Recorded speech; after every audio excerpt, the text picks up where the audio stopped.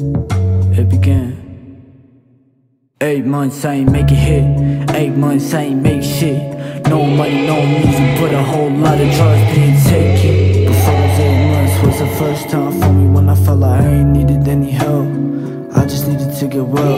Was the most secure I ever felt. Was the most I ever loved myself. Then I come back to New Zealand, disappearing. Beauty mixed with how I'm feeling. Plus the weed good, so I made decisions. Hit